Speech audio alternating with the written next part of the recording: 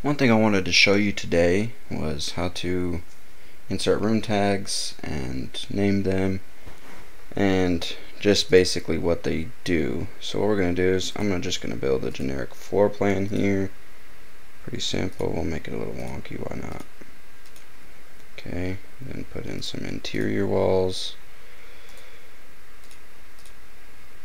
There. Here have this be the reception area. You know, room here, maybe, I don't know, something weird.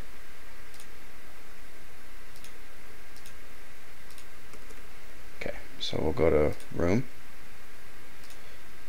Then you'll just input all the, the tags for every room.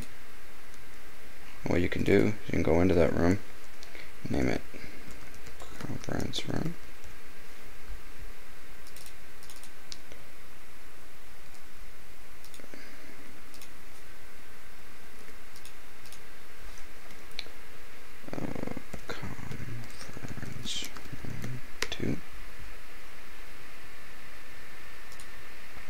And so on and so forth. So you can see with this one, this room tag, that it will only show you the room name and the tag number. So what this is saying is that I tagged six rooms. So this was the first one, the second one, so on and so forth.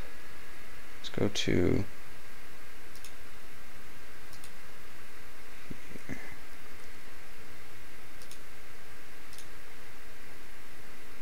You can also do the footing.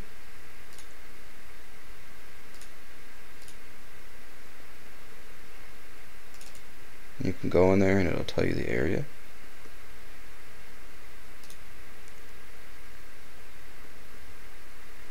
So yeah, I mean there's different types of things you can do. You could do area boundary, which is just picking boundaries here.